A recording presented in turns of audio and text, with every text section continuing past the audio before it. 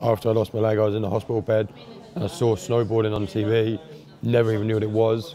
And then um, a charity called Blesma sent me on a snowboard trip and uh, kind of just never stopped snowboarding really. And I still have the same love for it as I did then as I do today. And I just want to keep getting better and keep enjoying it. And I think that's just that attitude has got me to where I am. You know, I just want to be better all the time.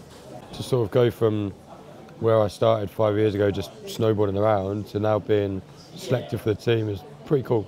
The fact that we're the first British snowboard team going, that's really cool as well, you know, to kind of represent the country, but also be the first guys to ever do it. That's wicked.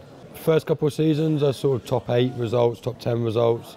And then um, last season, I managed to get silver at the World Champs, which was a big, big surprise to me because it was kind of come out of nowhere, really. All of a sudden, I learned how to snowboard quite well. And then um, this season I've had, and I've got a few more medals that season. This season I've already I've got a third at Finland, so it's exciting times. Definitely don't go there going, oh I've done it here, can I do it there? Because every single race is different, every single day snowboarding is different. You know, you just don't know what's going to happen. You can't predict anything.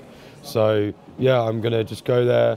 I'm going to snowboard as much as I can before I get there, be in the best mental state of mind you know, and go there and then just enjoy the experience, you know, because that's why I snowboard.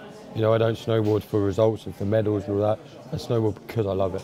So, and that's that's what I want to keep doing throughout my whole career.